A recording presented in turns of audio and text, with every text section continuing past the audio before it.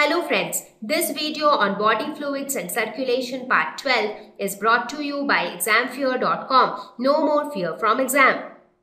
Now before we get into the circulatory system of human beings, let us discuss circulatory system of some other animals where the uh, system is a little simplified. So we will talk about the circulatory system of fishes.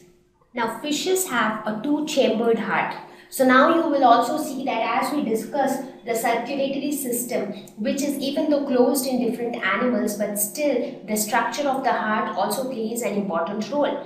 The heart in different animals are quite different. So now when we talk about fishes their heart have two chambers. So what are those two chambers? One auricle and one ventricle. So these are again new terms for you.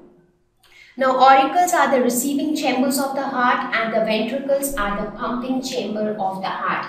Now let us suppose this is your heart.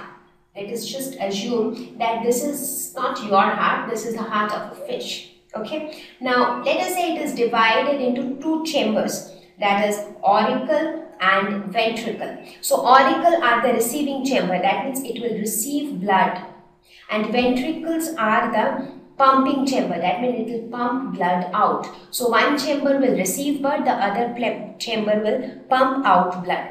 So auricles are always the receiving chamber. So one way to remember it is AIR that is auricle receiving chamber and VIP that is ventricles are the pumping chamber. So this is a small memory tip just to remember which is the receiving chamber and which is the pumping chamber.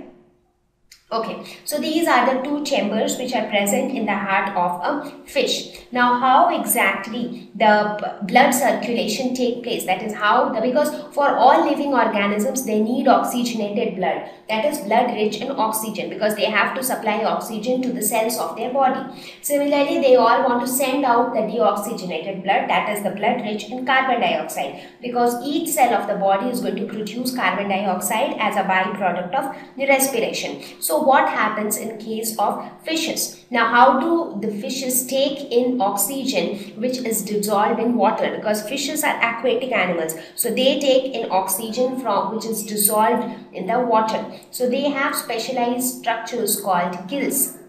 So these gills take in absorbed oxygen from water. So this oxygen is in dissolved form in the water. So this oxygen is taken in by the gills. So now the blood of the fishes is oxygenated blood right because it is rich in oxygen so this oxygenated blood is then transported to different parts of the body so it reaches each and every cell of the body. Now each and every cell of the body undergo the process of cellular respiration. As a result, carbon dioxide is produced. So this carbon dioxide which is produced is sent through the blood in the form of deoxygenated blood to the heart that is to the auricle chamber of the heart.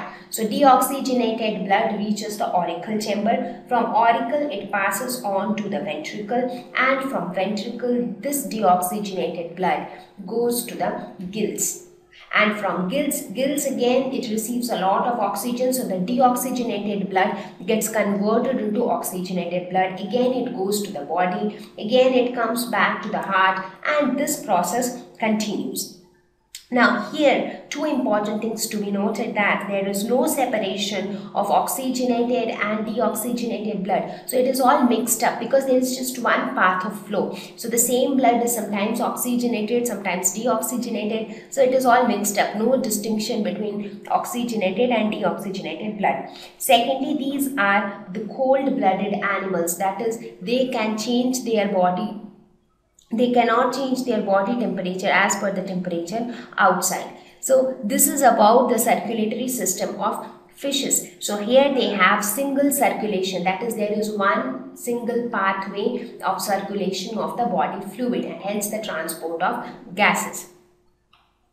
So now let us look at the circulatory system for amphibians and reptiles. Now they have a three chambered heart that is, instead of one auricle and one ventricle, they have two auricles and one ventricle. So the, what are those two auricles? Left auricle and right auricle, depending upon which side the auricle is located. So let us see how the circulation takes place in amphibians and reptiles. So here we can say that it has a heart something like this. Let us suppose this is the heart of an amphibian or reptile and it is divided into three chambers. That is two auricles let us say this is right auricle this is left auricle and this is ventricle. So it has got three chambers.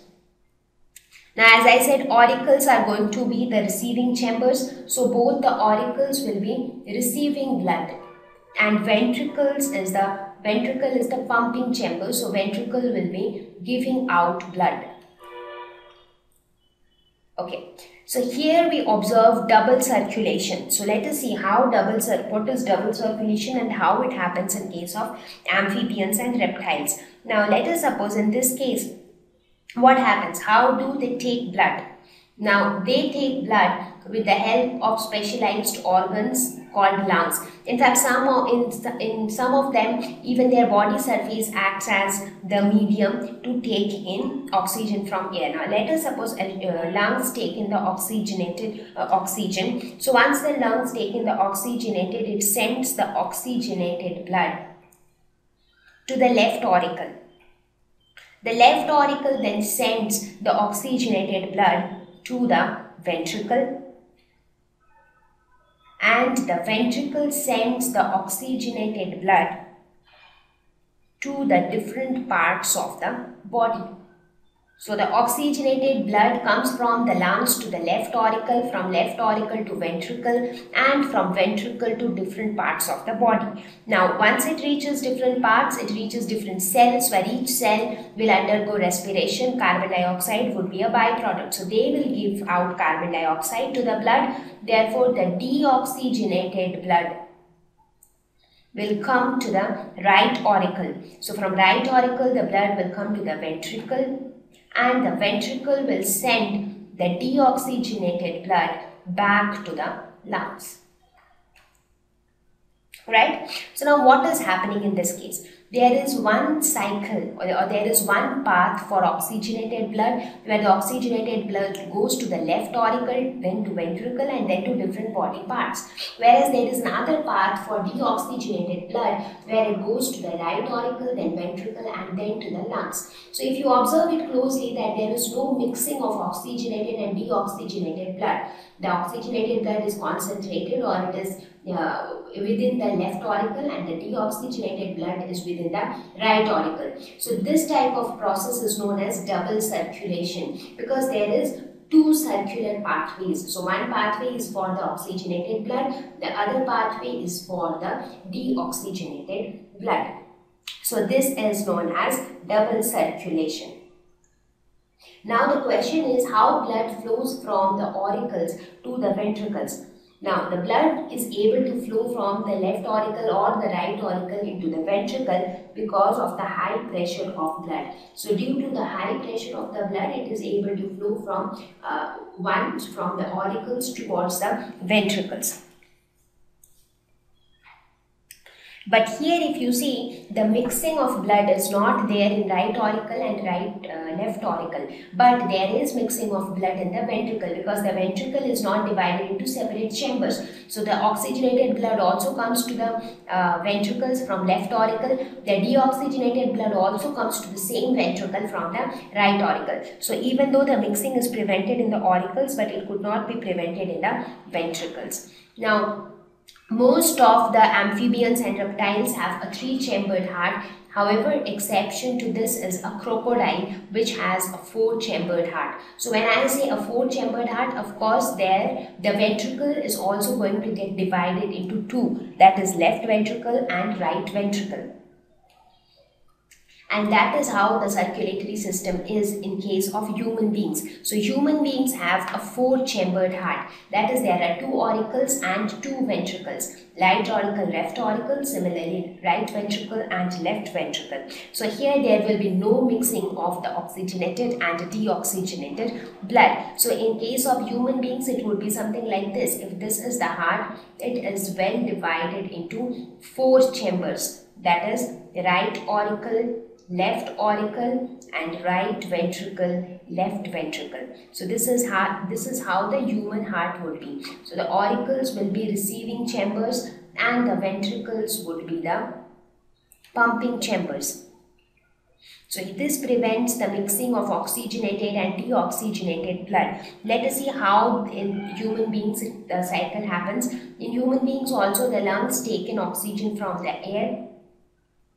So it sends the oxygenated blood to the left auricle. The left auricle sends the oxygenated blood to the left ventricle and the left ventricle sends it